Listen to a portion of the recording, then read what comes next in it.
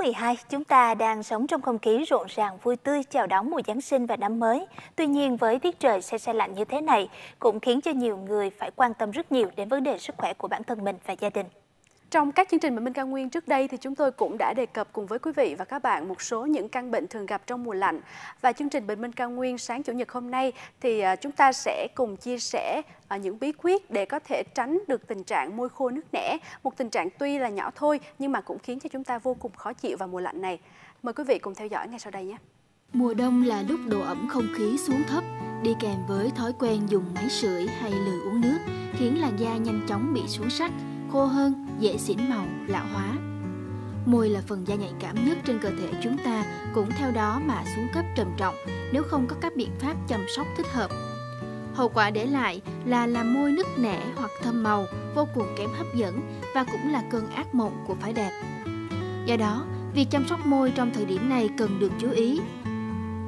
Việc đầu tiên là bạn cần cung cấp đủ nước cho cơ thể.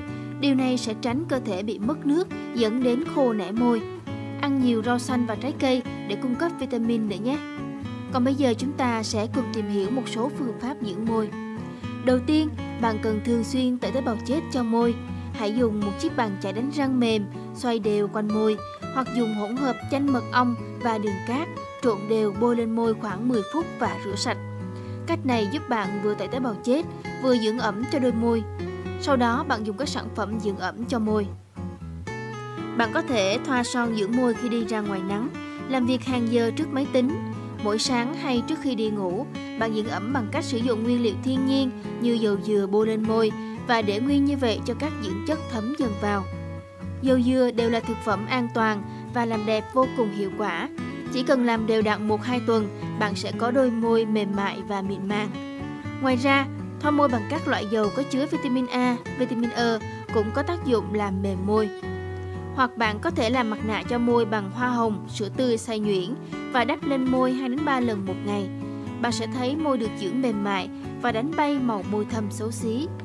Hoặc đơn giản hơn là mỗi tối trước khi đi ngủ, thoa đều mật ong lên đôi môi cũng có tác dụng cung cấp vitamin và dưỡng ẩm cho môi.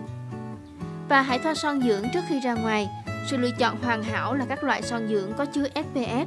Dù vào mùa này, bạn không còn cảm thấy bị đe dọa bởi ánh sáng mặt trời. Son dưỡng chứa SPF vừa ngăn ngừa tia cực tím, vừa bảo vệ đôi môi.